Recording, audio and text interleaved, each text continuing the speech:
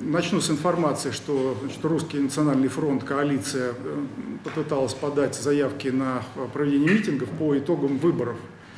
Две заявки и два отказа. Оба отказа абсолютно незаконные. Вот, э, первый отказ, э, якобы мы не за 10 дней подали, а за 9 э, эту заявку положено за 10 дней подавать. Вот. Вторая, вторая причина отказа, что все места заняты. Вот мы три места указали, все, и Пушкинская занята, и театральная, и, в общем, везде все, все занято. И 905 года тоже занята, там якобы кто-то есть. Но там, естественно, мы не будем проводить ничего, нам не улыбается, если кого-то там задержат или осудят и так далее. Э, то есть мы придем, так, несколько человек, и снимем там видео. Мы, я уверен, что там ничего не будет, что это вранье. Мы задокументируем это, что это вранье, что никакого там мероприятия нет, и что вот эта вся мэрская тусовка, она обманывает. Обманывает нас целенаправленно. Это уже не первый раз, но раньше как-то это не было заметно, сейчас вот как-то два раза подряд – вот, подписывает отказы, там есть такой олейник, э, заместитель начальника департамента. Э, очень оригинальный департамент в московской мэрии существует, департамент региональной безопасности, сейчас везде они есть. Э, состоит он из бывших значит, чекистов, которые не имеют биографии, то есть найти биографию вот этого олейника, который там является замом и подписывает все отказы невозможно, его просто не существовало никогда. Так же, как и его э, начальника Майорова, тоже нет такого человека, в природе не существует. Вот он э, родился сразу начальником департамента. Вот нигде никогда не служил, кроме как в департаменте. Вот. И такие люди, которые не понимают, что есть конституционная норма, там, пусть эта конституция принята не нами, но они объявили, что это их конституция. Ну, логично, раз вы объявили, мы как э, люди грамотные читаем, что в Конституции написано. В Конституции написано, что мы имеем право собираться мирно, без оружия, обсуждать свои проблемы. Ну вот нам, с одной стороны, придумали еще закон, который нас ограничивает, когда нам заявку подать.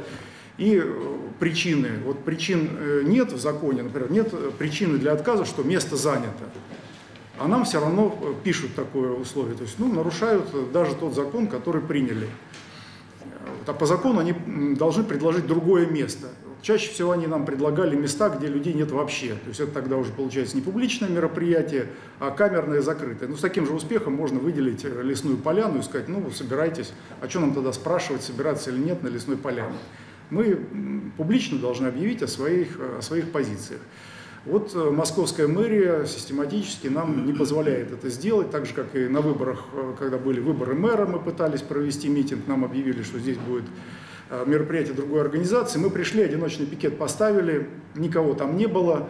Вот, зато стояли автобусы с ОМОНом, там один из наших соратников подошел, спросил, а что тут планируется. Он говорит, сейчас здесь будет несанкционированный митинг, и мы будем забирать. Имели в виду, естественно, нас, что мы сейчас придем, и нас можно будет тепленькими взять. Вот. Но мы на такие вещи никогда не подрываемся, и так уж э, в тюрьмах столько сидит, столько несправедливостей. Вот, и мы просто не можем человека защитить, у нас не хватает ни средств, ни юридической защиты, чтобы вот как-то вырвать из цепких лап режима человека, которого там несправедливо там, захватили. И многие здесь присутствующих тоже побывали там, без всякого закона за решеткой, посидели там хотя бы в течение там, нескольких часов, пока они там якобы протокол составляют. Вот, это, это первое. Второе, это мы объявили о подготовке к русскому маршу, и мы думали, что вот русский национальный фронт начнет эту подготовку с тем, чтобы как-то мобилизовать людей, приглашать их на уличные мероприятия, и станет видно, ну, чем мы располагаем, кто люди, вот как они приходят, как распространяется информация. Ну, видим пока, что все очень вяло, и вполне возможно, что э, нынешняя власть стремится к тому, чтобы русский марш запретить в этом году или дать опять этим э, укробандеровцев, может быть, им дадут специально, чтобы дальше дискредитировать русское движение, как это было в прошлом году. Ну и часто тоже показывают там всяких сумасшедших и зиганутых и прочих, и прочих, прочих. Вот. Э, для дискредитации очень удобно. То есть они такой инструмент придумали. Мы в альтернативу выступаем, поэтому вот такая к нам особая ненависть то, что в этом, в этом году арестовали, в прошлом году арестовали Кирилла Барбаша, и он сидит до сих пор в тюрьме, и в этом году Юрия Екишева, это очень серьезные для нас потери. в том числе и сильных ораторов, и сильных организаторов, и те, кто в сети постоянно работал. Вот, эта потеря большая, и даже если нам согласуют марш, нам будет очень тяжело без этих ресурсов, без штурм новостей, без э, ИГП РЗОВ. Ну, там есть люди, но они, конечно, не, не смогут компенсировать Андрей, эту потерю. А что ему шьют? Кому? Кому? Скажу. Барбашу. Э, Барбаша задержали сначала э, за продолжение деятельности запрещенной организации «Армия воли народа». Вот, ее запретили за законопроект об ответственности власти перед народом, когда суть законопроекта была такая, что вместе с выборами проходит референдум о доверии прежней власти. Вот, ну, вот именно это сначала. Арестовали за это. Арестовали за это. Там такая следователь Талаева. А э, в дальнейшем переквалифицировали на 282 статью. То есть не даже, ну, как арестовали за одно, а удерживают в тюрьме за другое. За 282-ю, за то, что вот он э, критикует власть, а власть это социальная группа, значит, возбуждает ненависть и вражду к социальной группе. Ну, уже год, наверное. Год, да, год, больше года уже, да, больше года, наверное, уже. Вот. Э, на 15 число у нас сегодня должна быть подана заявка на 15 октября, э, как раз митинг по, э, в защиту политзаключенных. Должны подать соратники Владимира Квачкова. Но я предполагаю, что опять откажут. Вот. Ну, посмотрим. Вот. Ну, на всякий случай, как бы запомните, что 15 числа, опять мы на 905 года, это единственная площадь, более-менее посещаемая людьми, на которую нам дают, давали раньше согласование на митинги.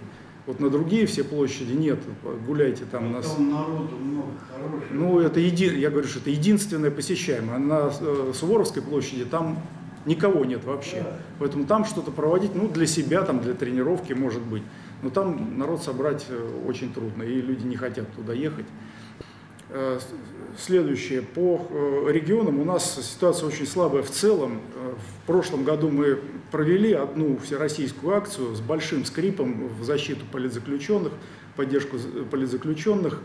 Разные организации были, в том числе и не входящие в Русский национальный фронт. Где-то 15 регионов провели от одиночного пикета до шествия, там, или, я не помню, по-моему, митинг только мы смогли провести, сейчас уже не припомню.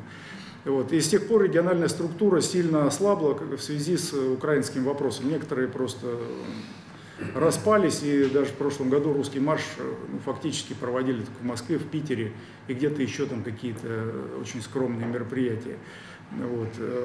В этом году, видимо, тоже все будет э, очень кисло, э, и люди и боятся, и разругались все между собой, невозможно понять, как их там сдружить, э, соединить.